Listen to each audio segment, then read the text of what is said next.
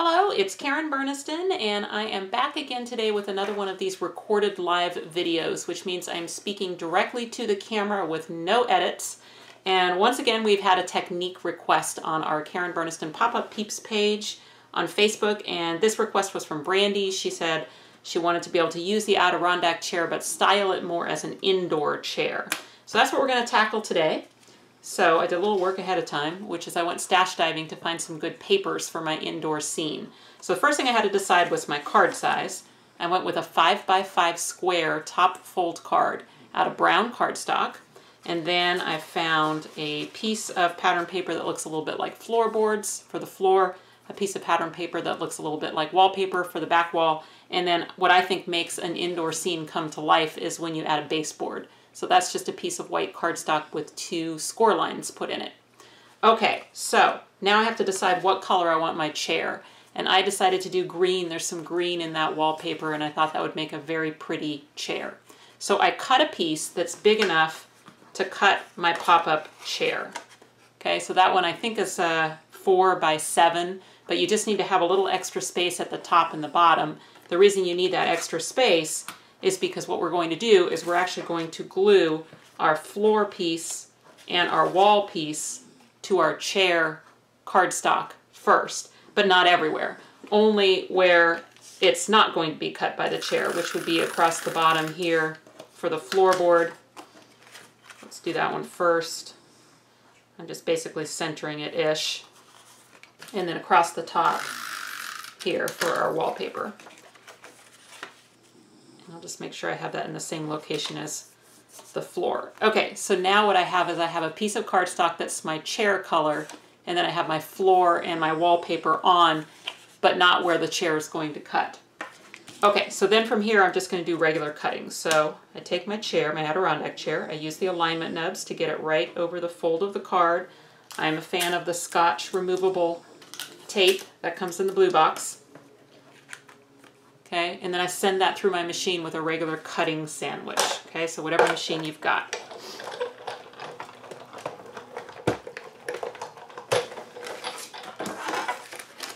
Okay. Now let me get that off there carefully. I like that scotch removable tape because it usually doesn't tear, but every once in a while it gets really sticky. You just gotta be real careful as you take things off. Okay, so now what I can do is I can remove the chair that's cut into the wall and the floor by just finding where the legs touch the floor and where the arms touch the wall and snipping on those lines. So those are score lines and we want to just make sure that we're only cutting paper, so we're not cutting through the green cardstock, we're just cutting through the royal we apparently. I am not cutting through the green cardstock, I'm only removing the paper chair from the wall. And then I'm going to remove the paper chair from the floor. This is pretty common. You've probably seen this before on the Adirondack chair pop-up assembly video where we were doing it with beach, right? So you had sand at the bottom and you had sky at the top or whatever colors. I can't remember what was in that video, but you get the idea. So that's a very uh, common technique. You've probably, if you own this die, have done that before. And that's how you can get a different color in the background than your chair. You know, so instead of just cutting your chair directly into a piece and then having everything be the same color, you can put those pieces over the top and then you've got that multicolor scene. Okay, and then the only other thing that has to happen is that you need to go in after die cutting the chair, go around the chair to get the paper then tacked down permanently. And I'm just using my glue. But you could use a tape runner. If you can get in there with a tape runner, that would work too. Okay, so I'm just avoiding the green chair. Oops, don't want slats everywhere. We'll glue this down over here.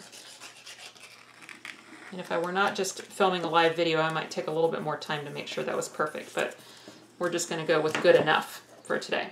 Okay, so now let's train the green chair to fold. Um, I don't really care about the slats. I mean, I suppose it's a good idea to take them out. Um, so you don't have to worry about them falling out later. We're going to cover them because this is an indoor chair, but I suppose we can take them out. Let's just do that real quick. Maybe don't cut your hands. Maybe I should use something that's a little, although, I mean, I could stab myself with that too, I guess. Don't stab yourself. Oh, the dogs are waking up. And a lawn crew just pulled up outside, so we are probably going to have a little lawnmower serenade here in just a second. My office is right at the front of the house. Okay, so here we go. We're ready to fold this. So I like to fold in the middle first in both directions.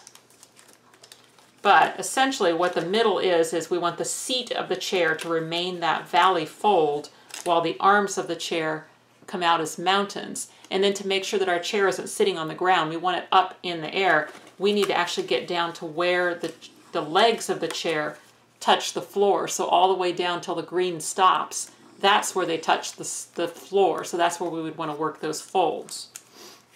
And then the turn down spot is on that final slat. So see now we've got the front part of the chair. There's the arms. And then all we need to do is work those folds right there in the back where the arms touch the wall. And once you've got it pretty much chair shaped, then you can, with your hands very close to the fold, so see how my hands are very close to the fold, you can just carefully close that. So it's a real easy fold on the Adirondack chair. And actually that's a pretty cool chair even if you just left it with slats in it. So, you know, you could just stick it inside. I mean, it's a cute chair. Someone might buy that chair and put it in their house. Um, I would buy this chair and put it in my house. But if you want to make it look a little bit more indoorsy, so maybe something more like it was upholstered, then what you do is we're going to switch to embossing the chair instead of cutting it. So now we need to switch our sandwich. Okay, so I'm a Sizzix Big Shot user. I know a lot of you are as well. And for a Big Shot, when you want to emboss a die, you're going to take your bottom cutting pad and, well, in my case, I have a solo thin adapter. If you have a flippy tab platform, you want to go flip that first tab open so that you're on tab one. That's the level for an embossing um, sandwich. Then Sizzix sells this impressions pad that's hard and then the silicone rubber that's soft. I think I saw that they're now making these in white. So black, white, whatever color, doesn't matter. Um, those two go together as the base of your sandwich. You use a cutting pad on top. And that's how you would normally emboss a wafer thin die. I'm going to change that for today. This impressions pad is actually a little thicker than our regular bottom cutting pad. And for today, I'm just trying to get the lines of the uh, Adirondack chair into the piece. So I'm actually looking for less pressure. I'm really just looking to press that lightly into the cardstock. So I'm going to try just my cutting pad on the bottom. So I'm on tab one, cutting pad, then my silicone rubber. I'm going to try it first this way. If I don't get enough pressure, I'm going to double that by just folding it over because I'm just looking for more pressure. Or I could put some cardstock in it. All I want is enough pressure to get the lines of that Adirondack chair into that cardstock enough that I can cut out the piece that I want. So let's take a look. Okay, that is perfect. See, so it didn't cut through, it just embossed it, but it's easy for me to find the lines that I need to cut on because all I want to do is just take out the middle part that's going to basically be a slip cover for my chair that's in my room that right now has slats in it. So I'm basically not going to keep the arms of the chair. I'm going to just leave those the way they are in the pop-up. And instead, just grab the area around it. So it's pretty easy to just follow those lines. And like I said, just ex experiment with your sandwich a little bit to where you can get it to where it's not embossing so heavy, but just enough that you can see easily the lines that you're cutting on.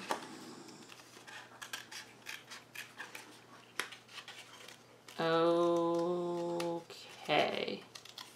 And then we'll go across the bottom here. Okay, so this is essentially my slip cover to cover the interior part of that chair. Now it has, you know, kind of an interesting pattern in that the slats have been embossed into it and maybe you could just make something using it just like this. But I think the best way to remove that embossing texture is just replace it with another one. So for that, I would just go with an embossing folder. Now I just have a ton of embossing folders in my stash from my years with Sizzix, so none of these are new. No idea if any of them are still available, but just look through your stash if you have embossing folders or if you're shopping for one, just look for things that are a good all over pattern that would look like you would see on a chair, you know, some sort of fabricy sort of pattern. And I'm going to stick with the one I found that has an actual argyle pattern to it because that's a really common upholstery pattern.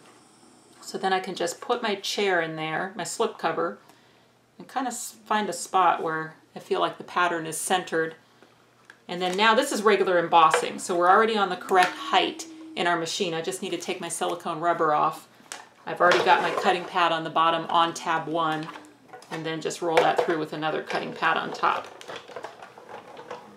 And what that embossing folder is going to do is it's basically going to replace the embossing from the die, or at least disguise it. I mean, you might see it down in there a little bit, but you'd have to really look.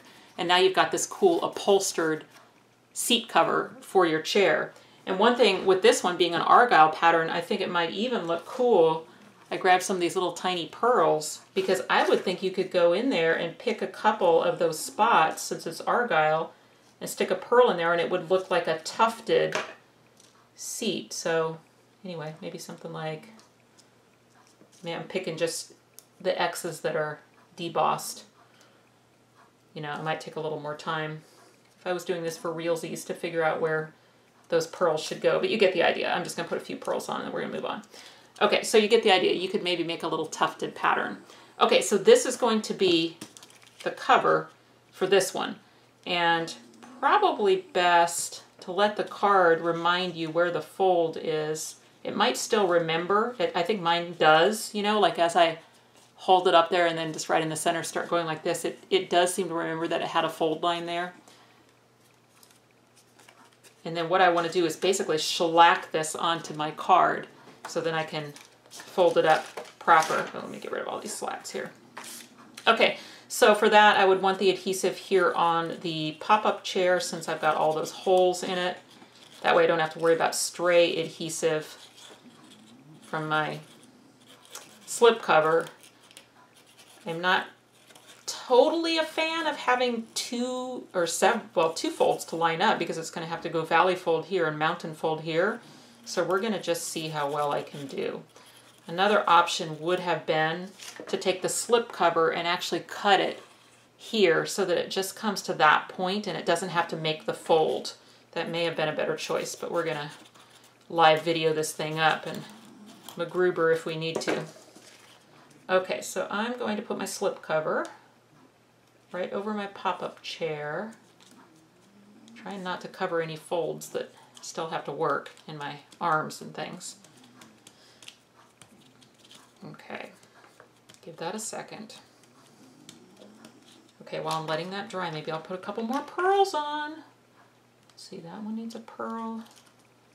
This one needs a pearl. Is that right? I don't know, those end up in a straight line. Maybe that needs to be moved. Uh, pearls. Pearls for tufted. Although I guess you wouldn't sit on them. Yeah, let's move these up here. Put one here. Maybe over here. Yeah, that would look better if it's just on the seat back, right? Talkie, talkie, talkie. Okay, extraneous.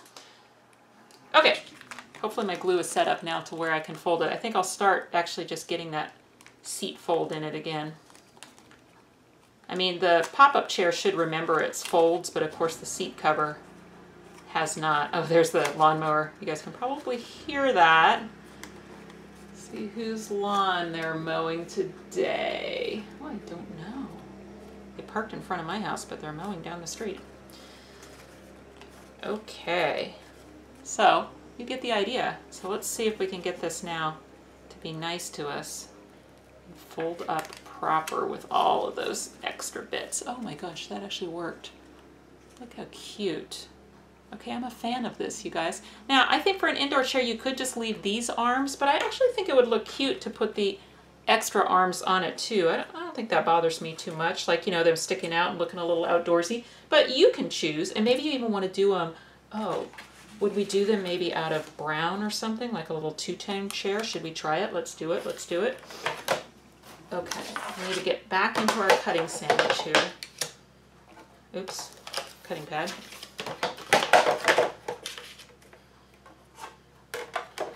Really did do a good job of getting the dogs fat and happy. I gave them a treat. They ate it very fast and very noisily. And then now they are sleeping. You can probably hear them snoring.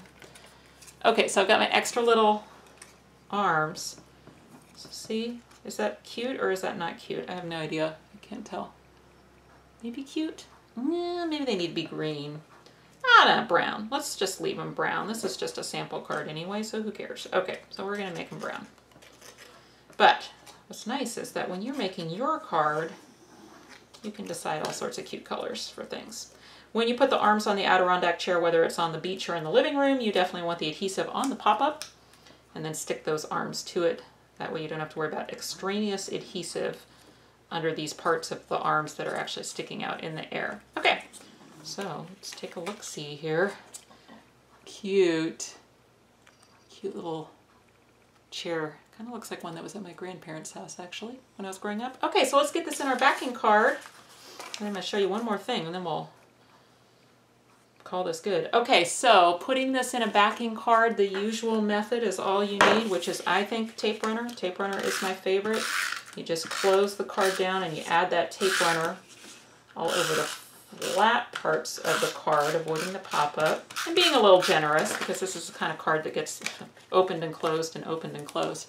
So now I've got a whole sticky back to my scene, but the bottom, the floor, is not sticky. So that gives me the opportunity to place it in there and move the floor until I like the centering on it. And then I make sure that the fold is right here in the fold of the card. And once it is, then I can kind of let the back fall against the back here, and then that'll be stuck down. And then closing it up, me get my tape runner. And we'll do this side.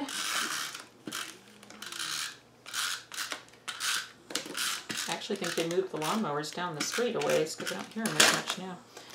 Okay, so you get the choice of whether you close the card but sometimes I'll just go ahead and do the same thing where I'm looking at it, looking at it, making sure that I like it centered. It, it shouldn't move if you if you did that close the card against it, but this way at least you can make sure that you like all your edges and things. Okay, so there I've got my card in my room, in my living room. And then I think what really makes it look very room-like would be the baseboard. So I'll just tape runner that in. Do not need that little slat stuck in my adhesive there. Okay, so I just weave that behind the chair and place it on the back wall, but up against the fold, just where you would see the baseboard. And it's just amazing little, little touches like that, how that kind of brings the room to life. And then one more thing I wanted to show is that you can make a pretty cool rug using the crosshatch ovals. So I'm going to choose three of them. And this one, I think I pre-checked, will fit in there as a rug. So this is going to be my main rug. So I need a color for my rug, and I picked one that I thought kind of went with the back wall a little bit, which would be this one. So I just need a piece that's big enough for my rug.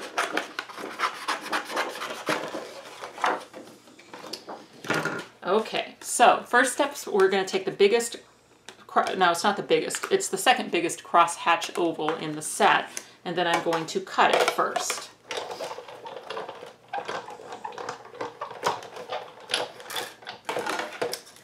Okay, and this does make a nice rug just on its own. So if you could be done, if that's what you want and you wanted lots of area in here for a sentiment, you could do that. But I'm actually going to leave that in the die after cutting and take a little tape and keep it there. Okay, I'm going to swap my sandwich out again for embossing. This time I am going to do the proper sandwich, which is tab 1 impressions pad silicone rubber.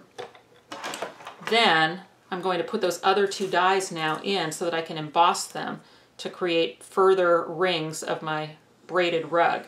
For the one that's the not crosshatch, so the next one down, I'm actually going to put it blade side up and I'm going to emboss the, the fatter area of that die, which is the back side, into that piece. And then I'm going to put the crosshatch in there, blade side down.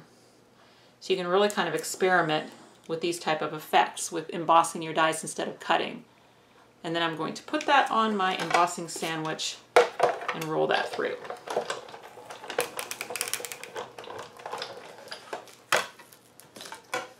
And the reason I kept the big die on there during the embossing is because if I had removed it, then just the act of embossing would have really um, pressed out my um, crosshatch on that area and then it wouldn't be as crisp. So if I want to, if you want that to happen, then just take that die off when you do that next step. Oh, I have overlapping tape here. See if I can get this off. Um, but if you want to keep it really crisp, then just keep the die in there. See, this is one of those spots where my tape's being a little grabby. Okay, let's see if I can save this rug, because it is a cool looking rug. Yeah, my tape is grabbing my cardstock a little bit. Okay, well, you get the idea. So, look at that. Isn't that cool? Looks like a rug. And I left, you know, space in the middle because that's a great place for a greeting. And I can do that by layering up my last two ovals, or one, or, you know, whatever. Maybe stamp a greeting and then cut it out with that and put it there. Or maybe I'm just going to stamp right on this. That might be kind of cool. Or even put like a die cut, cut greeting right there. So anyway, that will be the rug for my room. So anyway, Brandi, I hope this gave you some inspiration. I'm looking forward to seeing everybody's versions of the indoor Adirondack chair on the Facebook group, Karen Burniston Pop-Up Peeps. If you're not a member, we'd love for you to join. Have a great day. Goodbye. I'm back. I don't know, guys. I don't think I liked the brown arms. I'm going to just put green arms right over the top. I mean, this was supposed to just be a sample card, but it's actually kind of cute, so I'll probably finish it out. I don't know what for, what I'll put on the front, but anyway, I wanted to at least show that I think it looks better as all green. Okay, easy fix. Now for reals, goodbye. If you click on the website link, you'll go to karenburniston.com where you can find out information about purchasing these dies as well as links to all my other social media accounts. You can subscribe to this YouTube channel and check out some of my other videos. Thanks so much for watching, and I'll see you next time.